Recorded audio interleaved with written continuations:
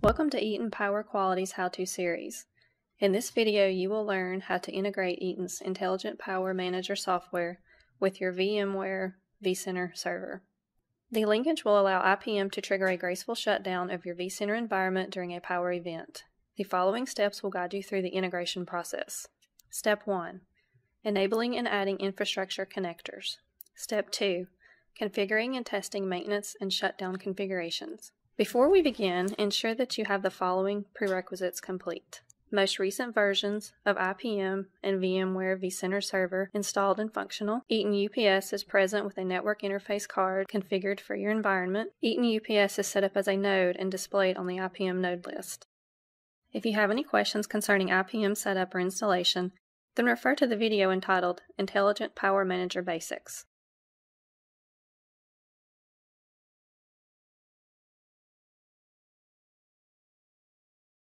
Step 1 enabling and adding infrastructure connectors. We will start by navigating to the IPM System Settings menu in order to enable the Infrastructure Connectors module. Launch Intelligent Power Manager.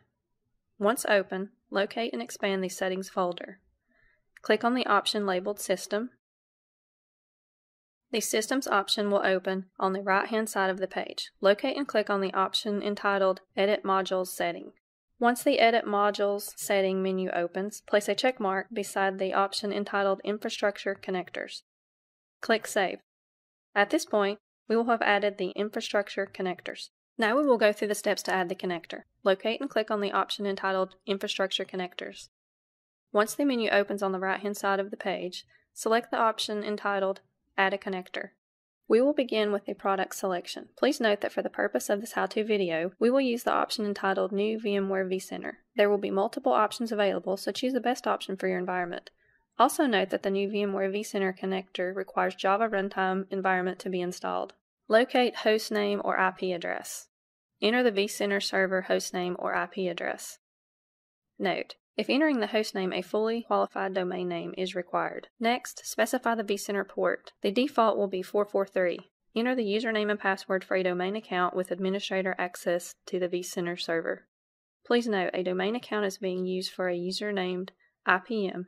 This account is only used for this linkage and allows for visibility within the vCenter logs. In order to enable both the Eaton tab in the vSphere desktop client and the Eaton tiles on the vSphere web client, a plugin will need to be installed. Click Save. You will be directed to the Infrastructure Connectors module while IPM conducts the installation and verification process for the newly added connector. Once all of the connection state icon badges turn green, the installation and verification process will be complete. You will now have access to intelligent power management from your vCenter vSphere client. If you experience any issues during this step, please contact the Power Quality directly at 800 356 5737, option 2, option 5, option 1 for troubleshooting. Step 2 Configuring maintenance and shutdown configurations. Once the UPS supporting the selected ESXi host experiences a power event, IPM will trigger a pre-configured mode of escalation which will place the host in the maintenance mode or shutdown mode. We will review and demonstrate how to set up the parameters for three escalation configurations. 1. Maintenance configuration. 2. Shutdown configuration. 3. Maintenance shutdown combo configuration. We will begin by reviewing the maintenance configuration. Once the UPS supporting the selected ESXi host experiences a power event, IPM will trigger maintenance mode. As maintenance mode initiates, VMware's vMotion tool will migrate all of the virtual machines onto the other available ESXi hosts. In order to set the parameters, start from the IPM Views screen. Select the folder titled Management and click on the option for Node Settings. Choose the VMware ESXi host that you would like to configure. Once selected, the Node Configuration pane will open to the far right of the screen. By clicking the pencil icon, you will activate the ability to edit the parameters.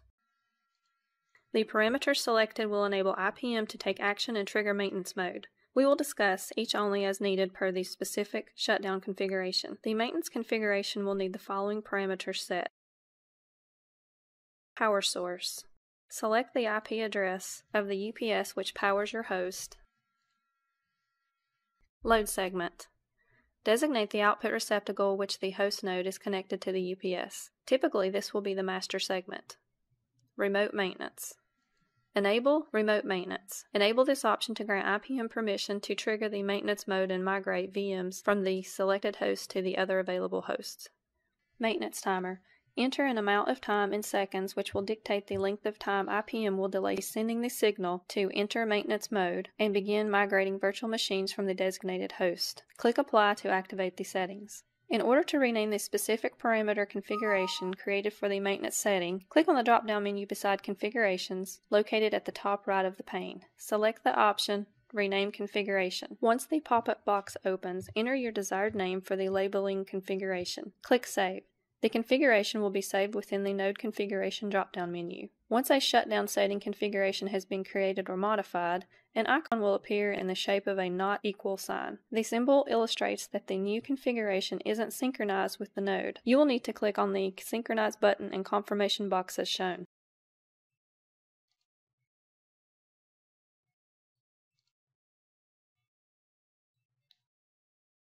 The following is a demonstration of the maintenance mode configuration activated. The UPS supporting the host ESXi server has encountered a power event and the timer has met the threshold. A warning icon will appear beside the affected host as maintenance mode is activated. The virtual machines located on the host will begin to migrate to the other available host to remain active. As the VMs complete their migration, they are removed from the affected host. For example, let's watch the VM titled ACD-6. Once the migration is completed, you can see it disappear from the host folder.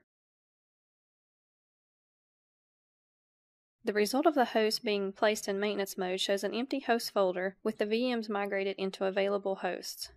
VMs will automatically migrate back onto the host once the power event has been resolved. Now we will view the pane for the vSphere web client. The summary shown illustrates that there are not any errors present. The web client will not refresh on its own, so you must refresh the screen in order to view the changes. Once refreshed, the power source will display the warning by changing the 0 to a 1 in the warning column. There will also be a warning displayed stating host UPS power has failed. As a power event is resolved, you can see the summary return to an error-free state by refreshing the web browser. 2. Shutdown configuration. Next, we will review the shutdown configuration. Once the UPS supporting the selected ESXi host experiences a power event, IPM will trigger the shutdown of the designated host. In order to set the parameters, start from the IPM view screen. Select the folder titled Management and click on the option for node settings. Choose the VMware ESXi host that you would like to configure. Once selected, the node configuration pane will open to the far right of the screen. Click on the pencil icon beside the option titled Shutdown Settings.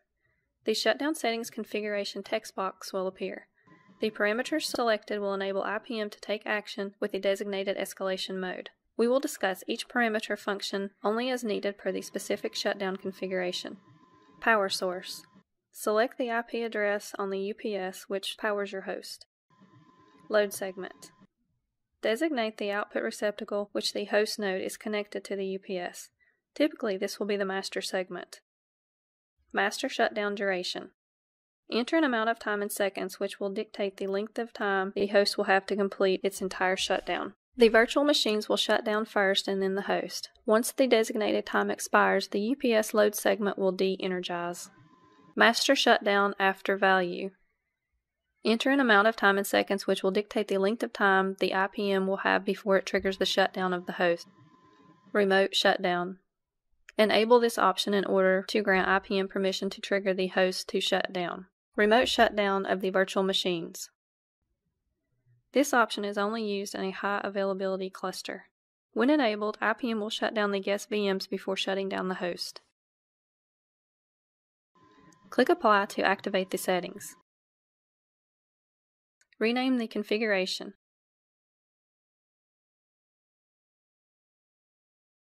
Click Save. The configuration will be saved within the Node Configuration drop-down menu. The last step will be to synchronize the setting to the node. This will be accomplished by clicking on the Synchronize button and confirmation box as shown.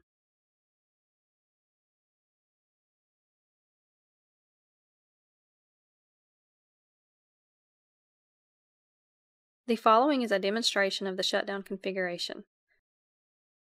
The UPS supporting the host ESXi server has encountered a power event and the timer has met the threshold. Within vCenter, a warning icon will appear beside the host and the affected host will enter shutdown mode. As you can see on the vCenter desktop pane, the virtual machines located on the host will initiate shutdown mode first. As the VMs complete their shutdown, you can see their state change to display powered off. Once all of the VMs are shut down, the host will complete the shutdown procedure. This action will be identified by host and VMs becoming italicized and changing in color from black to light gray.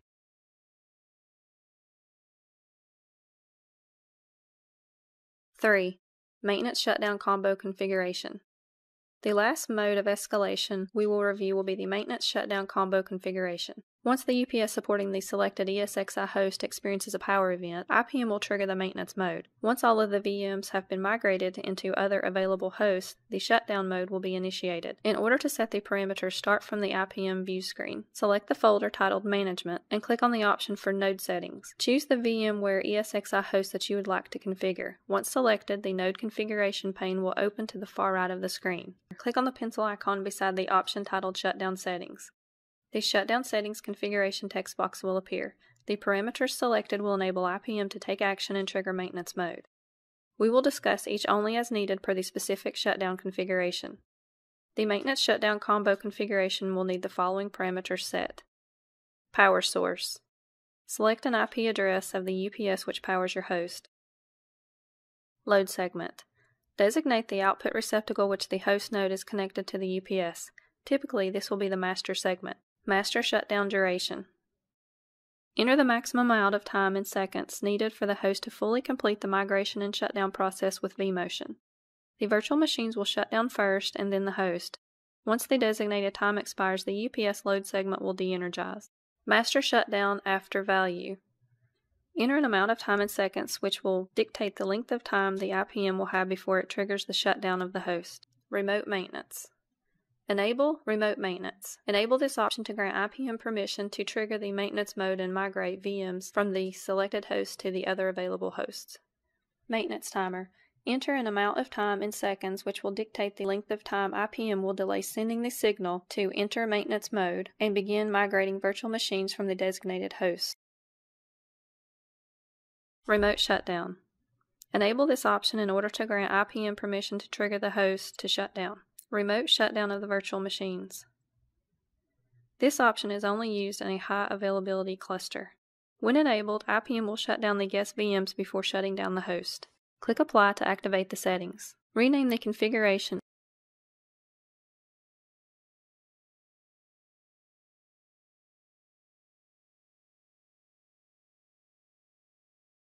Click Save. The configuration will be saved within the Node Configuration drop-down menu. The last step will be to synchronize the setting to the node. The following is a demonstration of the maintenance shutdown configuration. The UPS supporting the host ESXi server has encountered a power event and the timer has met the timer threshold. Within vCenter, a warning icon will appear beside the host and the affected host will enter maintenance mode. As you can see on the vCenter desktop pane, the virtual machines located on the host will begin to migrate to other available hosts in order to remain active. As the VMs complete their migration, you can see them be removed from the affected host.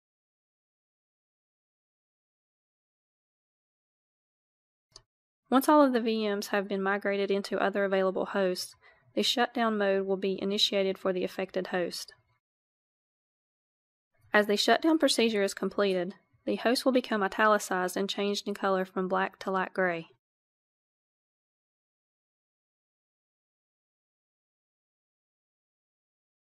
In this video, we have reviewed enabling and adding infrastructure connectors as well as configuring three modes of escalation to be utilized during a power event. For more information, please visit our website at eaton.com slash power quality.